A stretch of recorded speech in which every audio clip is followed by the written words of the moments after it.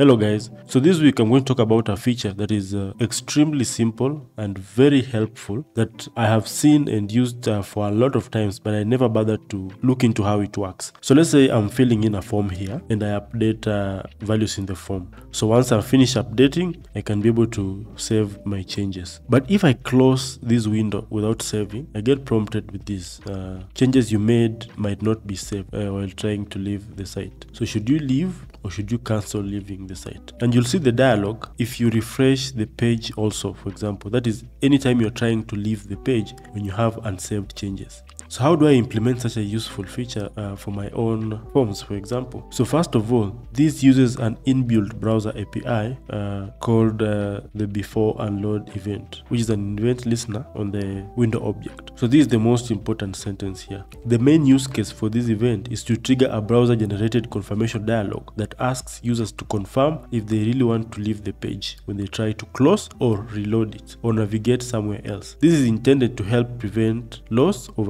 unsaved data. So you can trigger the dialog by calling the event object's prevent default method and then setting the return value property to an empty string value or any other truthy value. Or you can also return any truthy value from the event handler function. So you can return an, an empty string, for example. And if you look at the browser compatibility, this is available on most on all browsers. So anyway, let's see if we can implement the same thing in our React project. So I've taken the liberty of implementing a simple form here. So a form with an on submit handler and an input with uh, on change event handlers, which uh, when updated, update our form state uh, state variables here.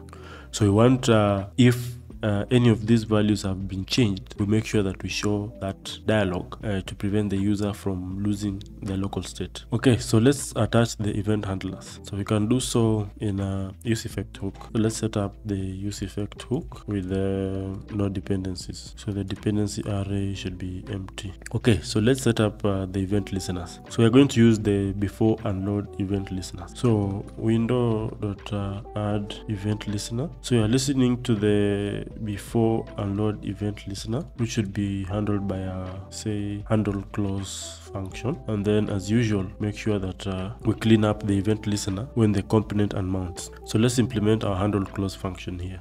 So here it is. So this is just a function that prevents the event listener from carrying out its uh, default behavior and also sets the return value. So they say the return value should be an, an empty string. So this can be anything. Maybe you can say are you sure? So something like that. And also we want this uh, event listener to be executed if uh, our state variables have changed. So let's uh, just do it here. Add the form state uh, to our use effect hook and then inside our function we just check if either of the properties have values. So if uh, the form state uh, dot name or dot message have values we set the return value and also we call the prevent default function of the event handler. So otherwise it will close if you have made no changes. If you have made changes then it will prevent from closing. So i don't know if you can call this with an empty string. So let's try. So if you enter a name for example and uh, try to reload we'll get that dialog by default. So as far as i know you cannot actually change what is displayed here. Everything is chosen by the browser that you are using. So you can't change this value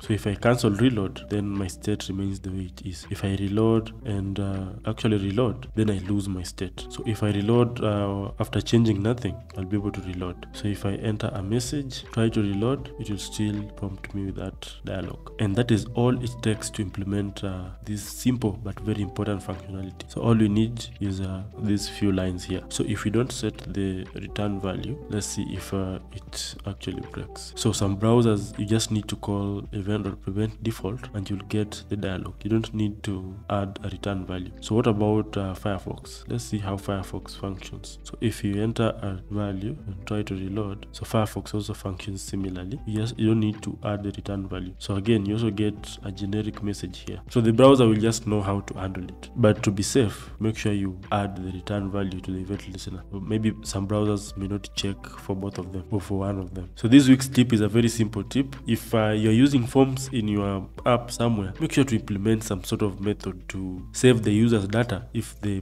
browser closes accidentally. I think even if you try to close the browser, the dialog will stop you from closing the browser. So it's a very important uh, feature. So thank you so much for watching. I hope you learned something new today.